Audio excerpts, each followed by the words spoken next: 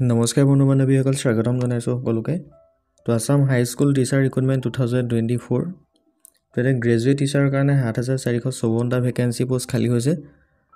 তো ইয়াকে লৈ আজি আপোনালোকৰ ভালেমান শিক্ষকৰ ভেকেঞ্চি খালী হৈছে প্ৰায় দহ হাজাৰৰ অধিক ভেকেঞ্চি পদৰ এডভাৰটাইজমেণ্ট আহিছে এল পি ইউ পি লগতে এইখিনি গ্ৰেজুৱেট টিচাৰৰ ভেকেঞ্চি আহিছে। তো বাকীখিনি এডভাৰটাইজমেণ্টটো আপোনালোকে পাই যাব লিংক ডিছক্ৰিপশ্যনত আৰু ইয়াৰে লাষ্ট ডেট কামিংছন হৈ আছে।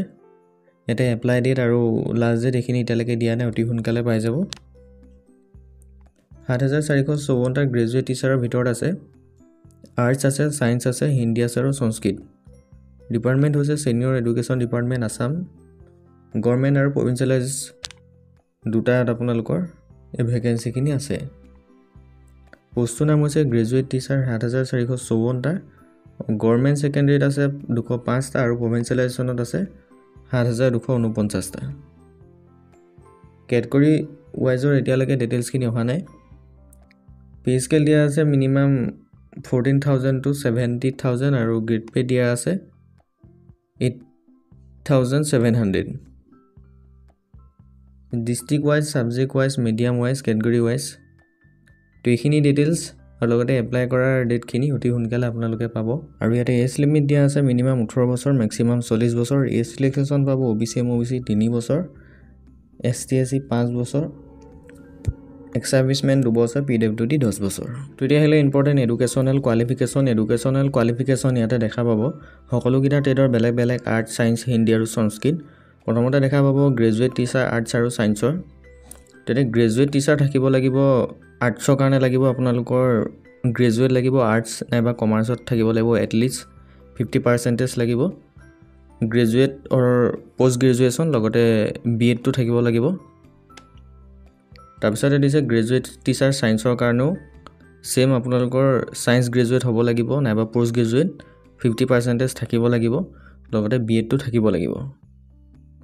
হিন্দীটো একে প্ৰবীণ নাইবা ৰত্ন থাকিব লাগিব ফিফটি পাৰ্চেণ্ট তাৰপিছতে আপোনালোকৰ যিটো বি এড হয় সেইটো থাকিব লাগিব। গ্ৰেজুৱেট টিচাৰ সংস্কৃততো ছেইম শাস্ত্ৰীটো লাগিব ফিফটি পাৰ্চেণ্ট সহ আপোনালোকৰ বি এডটো থাকিব লাগিব।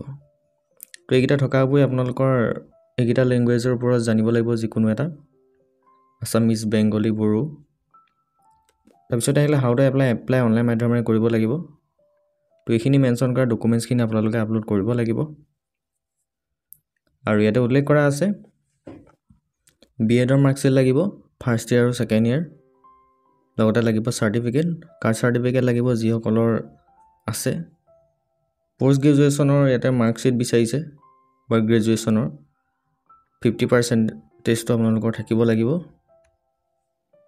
তাৰপিছতে ইম্পৰ্টেণ্ট ডেটটো এতিয়ালৈকে আপডেট হোৱা নাই এডভাৰটাইজমেণ্ট ডিটেইলছটো ইয়াতে গৈ চাব পাৰে গভৰ্ণমেণ্ট যিটো আছে আৰু প্ৰভিঞ্চিয়েলাইজেশ্যন যিটো আছে সেইটো চাব পাৰে।